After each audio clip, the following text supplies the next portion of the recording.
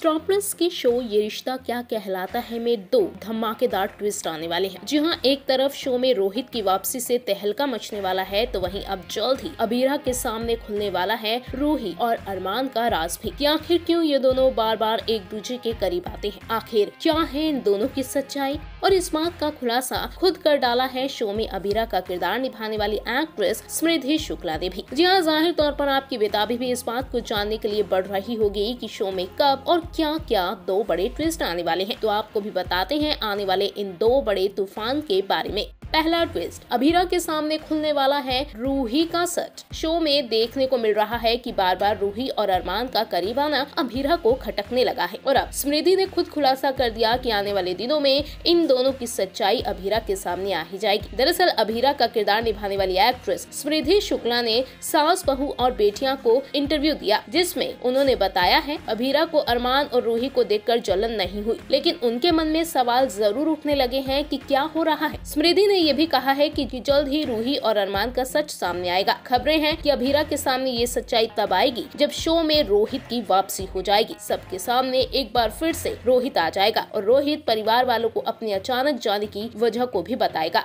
दूसरा ट्विस्ट टूटेगा दादी सा का गरु कयास लगाए जा रहे हैं कि रूही अरमान का सच सामने आने के बाद दादी सा, जो इतनी रूड है, अपना एक अलग एटीट्यूड लेकर चलती है, उनका गरुड़ टूट जाएगा। दादी सा के साथ साथ पूरा पुदार परिवार भी शौक में हो जाएगा। कहा जा रहा है कि जल्द ही शो में रोहित और रूही के तलाक का ट्रैक भी देखने को मिलेगा और इसके बाद रूही चलेगी अपनी खतरनाक चाले भी अरमान को वापस पाने के लिए। साफ़ है कि राजन शाही ने अपने शो को धमाकेदार बनाने के लिए आने वाले ट्रैक में कई और ऐसे ऐसे ट्विस्ट प्लान किए हैं जो शो को ड्रामेटिक मोड़ देंगे और जनता को भी कर देंगे हैरान।